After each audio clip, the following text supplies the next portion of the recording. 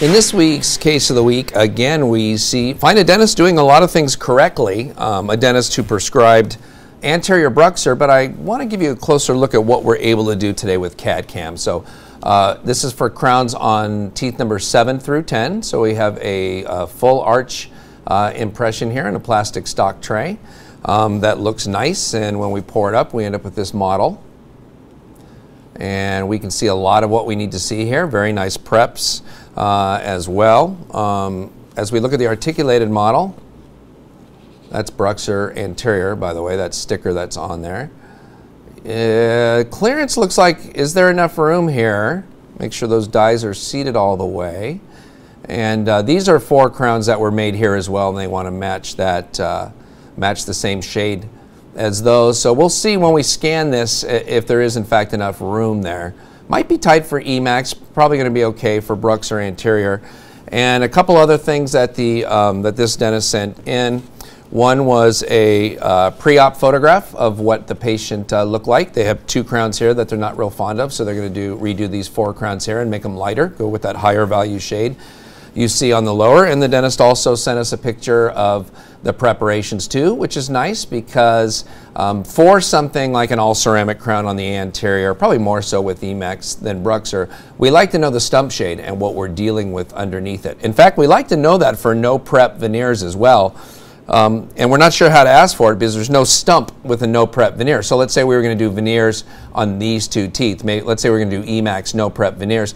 We really need to know the shade of the tooth in this state so that we know whether or not we need to do any opaquing on the veneer. For example, if you wanted to do no prep veneers on these two teeth and take them from this shade, this whatever C3 might be, to uh, B1, for example, uh, it's not going to work with no prep unless they were zirconia veneers. And even then, we'd probably want some reduction for, for other reasons. So um, we do like seeing photographs of the teeth, especially with a shade tab in place. But here we can see that, you know, because it is for anterior BruxZir, none of this, none of these preps are going to uh, show through. So that's not an issue, even though anterior BruxZir is more uh, translucent than regular BruxZir. As long as there's adequate reduction, it won't show through. If it gets really thin, there's a possibility it might show through. So also in addition to this, and this is probably the most important part, the dentist sent us a study model um, of what these teeth look like. Added a little wax there on that central incisor, wanted to build that out a little bit and kind of show it to the patient and didn't want us to follow this exactly. Wanted us to make like the centrals not quite as bulky and add a little length to those uh, as well but we're certainly able to follow a study model exactly too uh, if you want us to. And this is part of the promise of CAD-CAM that we really haven't been able um, to do before. And so when we get this, we scan all the stone models, the prep model and this model, and then we take it into the digital environment. So the first thing we're going to look at here is going to be a scan of the study model. And you can see this is that, that study model here. This is the scan of what that looks like. And below it, we have superimposed it onto this scan, which is the scan of the preparations themselves. So this black line represents the study model that the dentist took the impression of and sent to us. And this represents the prep that's on the tooth. So you can see we do in fact have uh, adequate reduction. I, I, didn't print the screenshot, but when you click the two dots here, we have uh, a millimeter and it's a little close here if we were doing Emax, but we have plenty of room here uh, for anterior BruxZir. So we can see that what the dentist wanted to do, you know, basically replicate what's here with some minor changes, can be accomplished because of how much um, reduction there was. And so that's one of the first things we do is kind of compare the two and make sure we can do it. So then the software proposes uh, four crowns uh, for this. And for example, the proposal are these four crowns right here, but we know that the dentist doesn't want these uh, four crowns like this. He wants us to follow the study model with a couple changes, and that's where we can start to make some modifications. So we can either make exactly what you saw here if you want to just absolutely duplicate that because the patient was happy with it or the software will make a proposal and then we can make some changes to it. And that's essentially what was done right here and that's what this cross section is that you're looking at. And so this black line is still the preparation. You'll remember that prep outline from the first time This yellow line, this golden line right here, is the die spacer. So this is 50 microns of die spacer with a little extra here. Just sometimes if we have a sharp edge here, we have to leave just a little extra space here for when it gets milled. So this is our virtual die spacer all along here.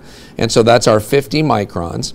This black line represents the minimum uh, material thickness for anterior BruxZir which is uh, uh, beyond the die spacer, of course. And so if we wanted to have a crown, this is the, the minimum material thickness right along here. And so if in fact this was what the proposal was, we could pull it off, uh, but we're not doing that. This is the study model line, this black line that comes around here like this. So that actually represents what's on these teeth. And as the doctor indicated to us, he wanted it to be less bulky on the facial and about half a millimeter longer. And so we've taken this proposal and changed it to kind of fit his criteria. So the study model of the crowns that are already on there is this black line, and we've changed it to this yellow line so they're not as bulky. We can see it comes back towards the lingual in the incisal third to give us that flat facial profile. And then the incisal edge is about half a millimeter longer than the incisal edge on the study model, and then it comes back and comes down to the ling lingual margin over on the side. And so this really allows us to be able to dial in the shape and size of these teeth. We can always uh, take a screenshot of this and send it to the dentist and say, is this what you're looking for? Uh, if the dentist has a pre-op study model of either temporaries or the patient's natural teeth and wants to replicate that exactly, these two lines would be right on top of each other.